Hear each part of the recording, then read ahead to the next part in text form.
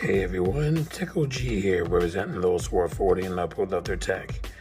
And I first want to say that I've been enjoying my summer break so far. I've just been relaxing, playing a couple of games, um, just chilling, just chilling, enjoying my tech, enjoying the weather. So that's one of the reasons why I haven't made or posted a video in a minute.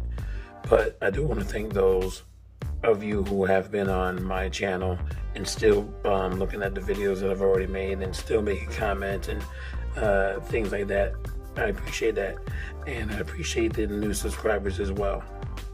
Um, even though I haven't, like I said, uploaded a video in a while, I still got new subscribers. So I'm thankful that people are watching my videos and are liking what I'm saying.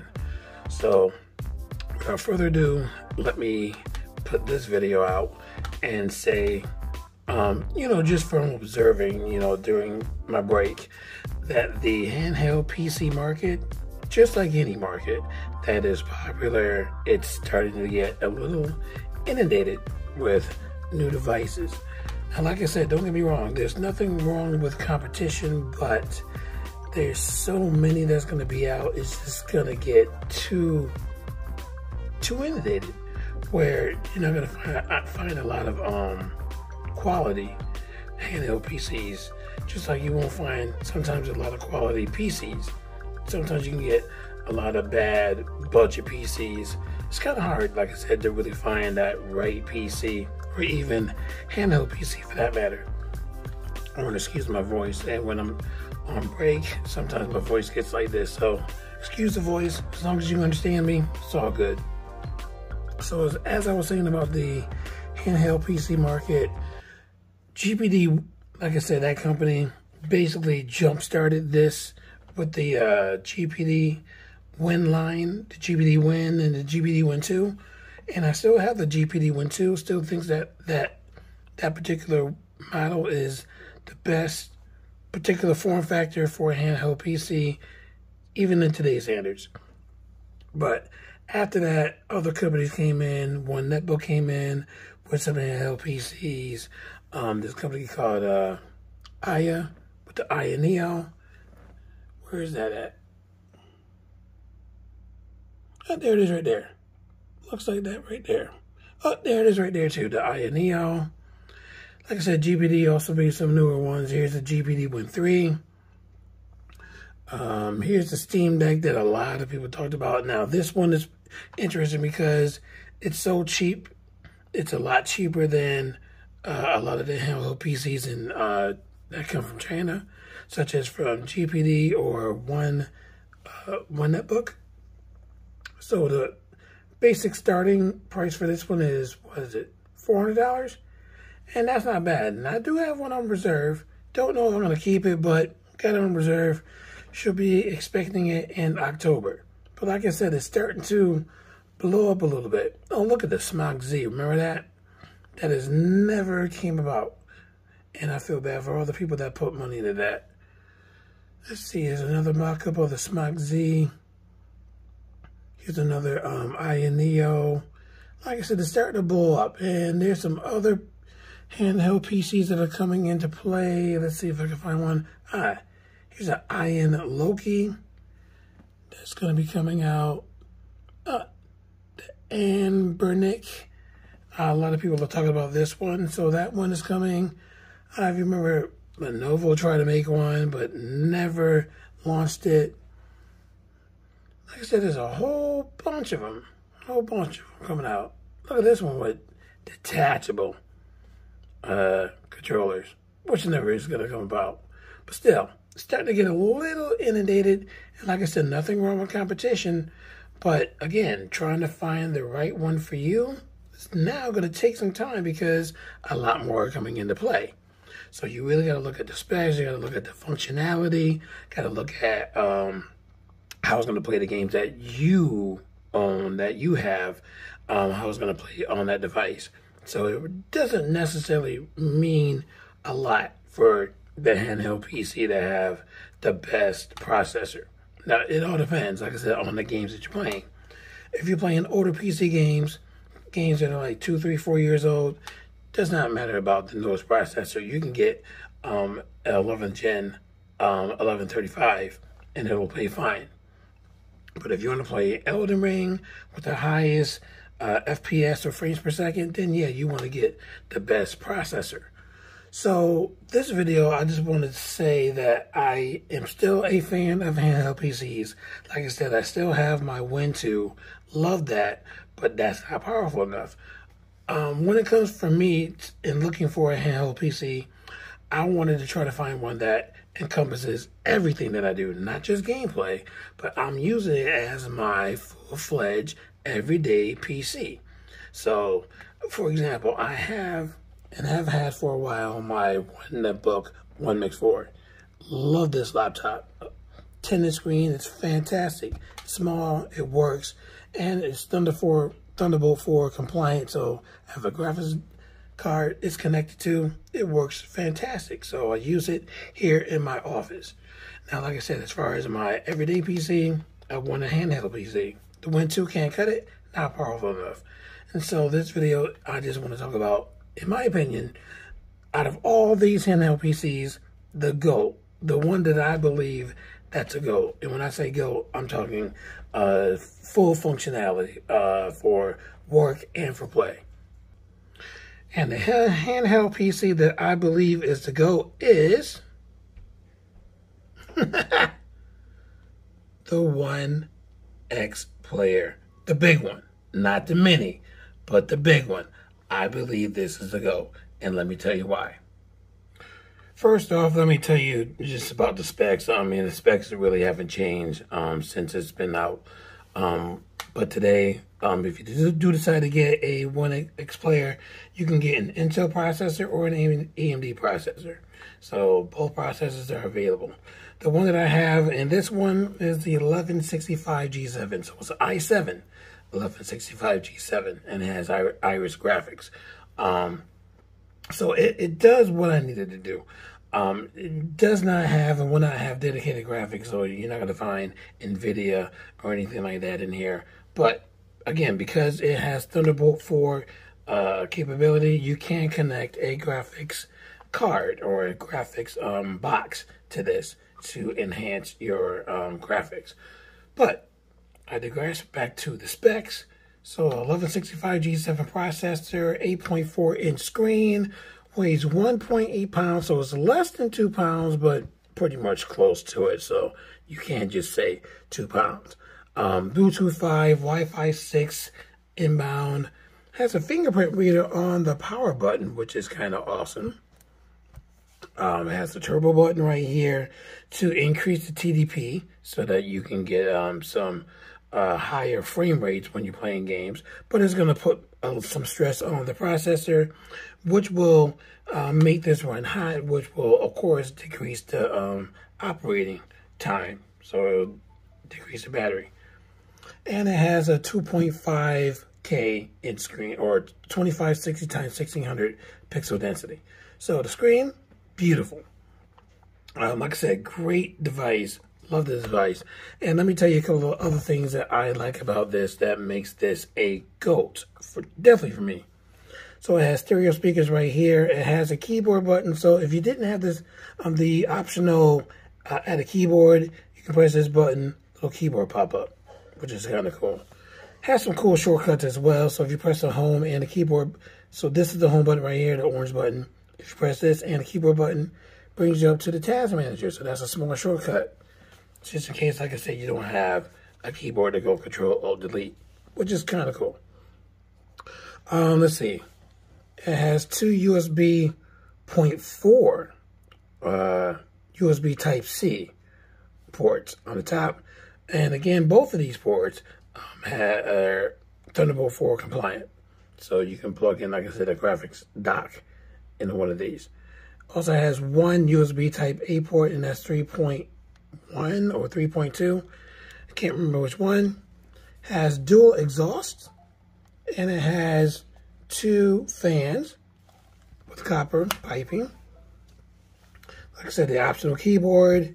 Um, it has all your bells and whistles as far as your buttons. So you got your two analog sticks, your D-pad, Not really a fan of the D-pad yet. I mean, I got to work into it. I'll tell you about that a little bit later.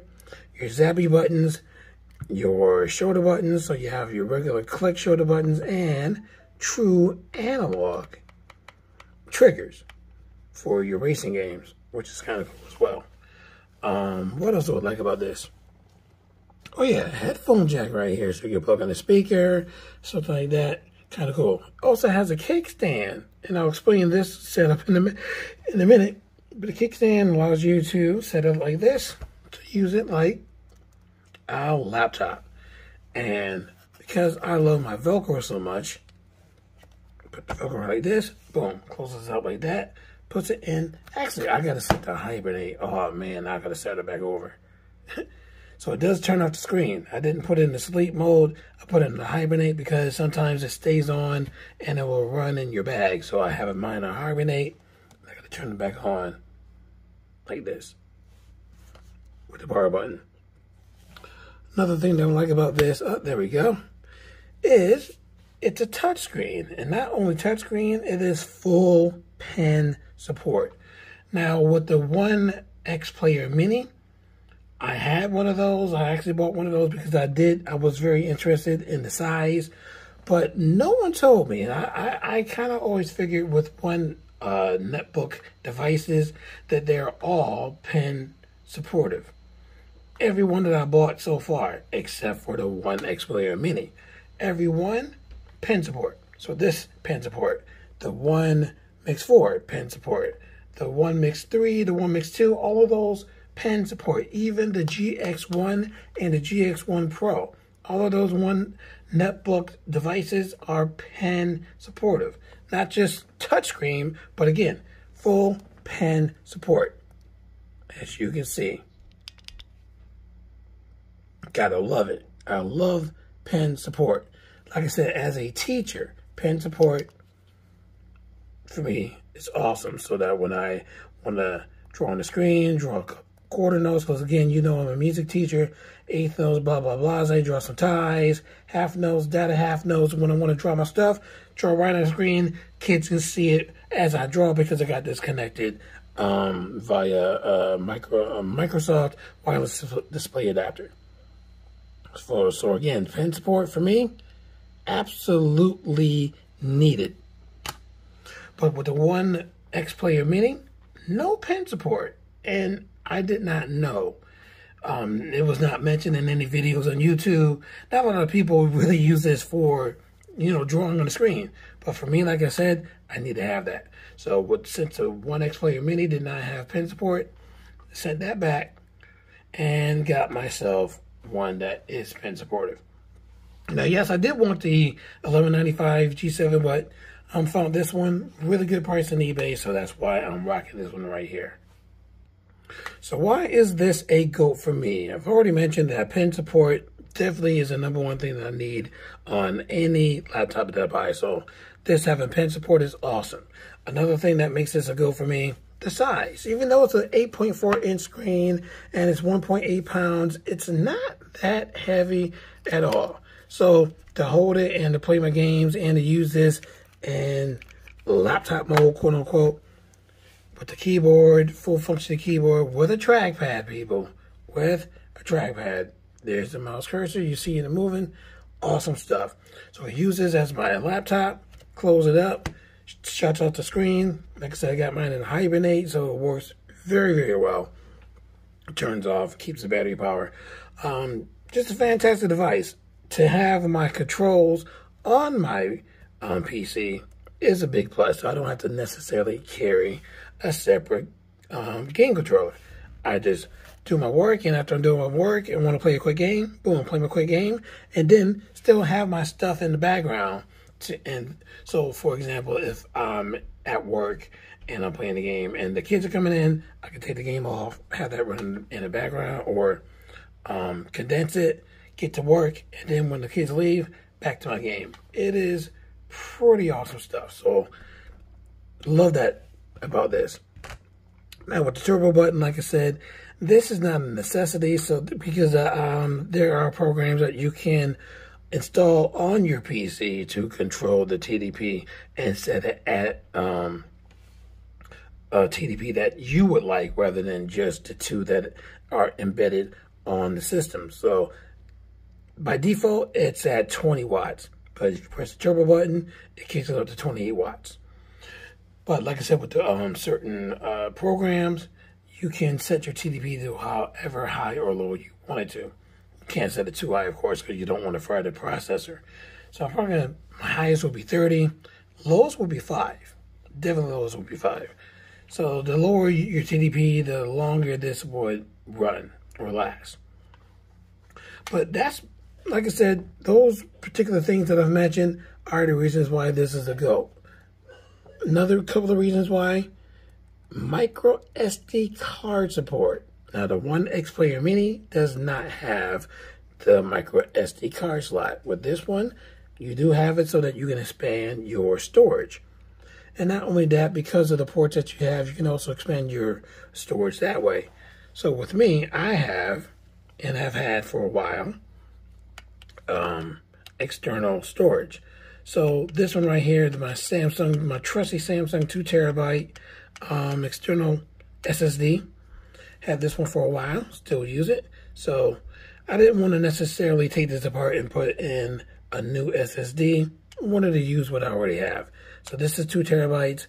Inside of here is a 2 terabyte M.2 2242 SSD that I originally had for my um, GPD 1.2 but since I'm not using that, decided to buy this um, enclosure to use it as external storage as well. And again, it's in SSD. So by having this and this, gives me four terabytes of external SSD storage, as well as the one terabyte internal SSD. And with the card slot, I have a one terabyte card in the micro SD card slot, which gives me a total of six terabytes and it's still not heavy at all.